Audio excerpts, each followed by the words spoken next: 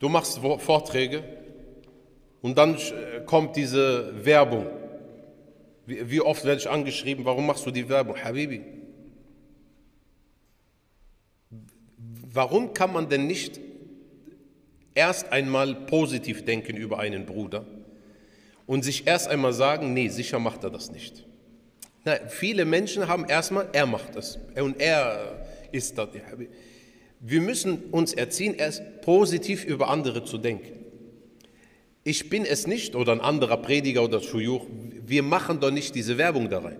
Wir haben auch die Werbung nicht geschaltet, sondern ob du willst oder nicht, kommt die Werbung. Ob du willst oder nicht. Und ich verdiene auch kein Geld, weil es nicht erlaubt ist.